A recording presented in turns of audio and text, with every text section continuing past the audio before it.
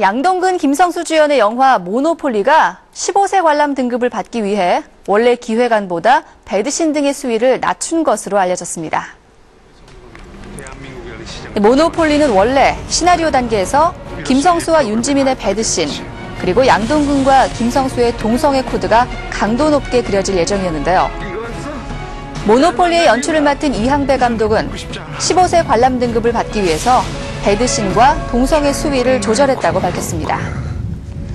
따라서 윤지민의 비키니 장면 등 가벼운 노출신과 함께 양동근과 김성수의 동성애 코드는 감정적인 부분으로만 그려졌습니다. 15세 관람 등급을 받은 모노폴리는 다음 달 1일에 개봉합니다. 겨우 이걸 써 너에게 기회를 준 거야. 무슨 기회?